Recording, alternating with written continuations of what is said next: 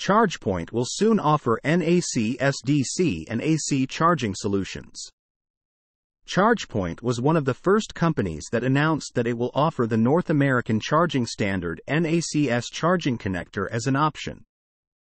The company noted that its AC and DC charging solutions utilize modular connectors for both customer preference and serviceability, indicating that NACS will become just another option besides the combined charging system CCS1, CCS2 in Europe, CHAdeMO, and the J1772 AC plugs.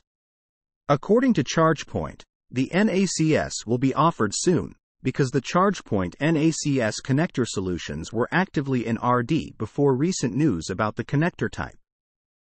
And as a result are planned to deliver ahead of the vehicles with native NACS ports announced over the past two weeks.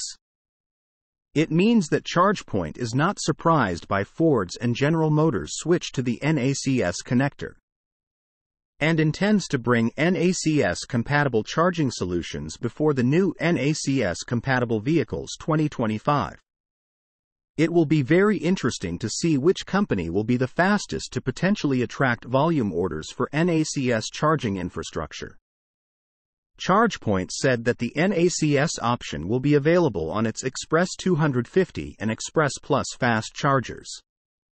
AC charging points CPF 50 and CP 6000, as well as on home charging units Home Flex. Noteworthy is also that there will be an upgrade option for existing products, so early adopters will not be left alone if they would like to switch to NACS.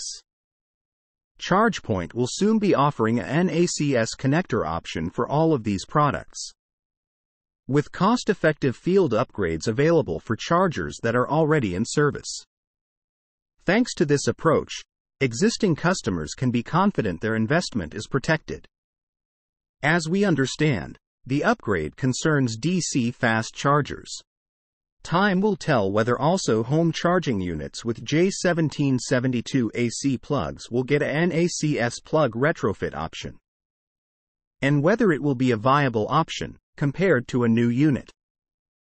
And sale of the old one, together with the older car. Let's note that ChargePoint, besides selling hardware, is also running its own ChargePoint network, which consists of charging points, owned mostly by other companies. And the addition of NACS chargers is very important for the company because it allows the network to serve Tesla EVs without any adapters. That would be a potentially serious boost to the network at least, the DC part. Source. Reposted and summarized from Mark Kane at InsideEVs.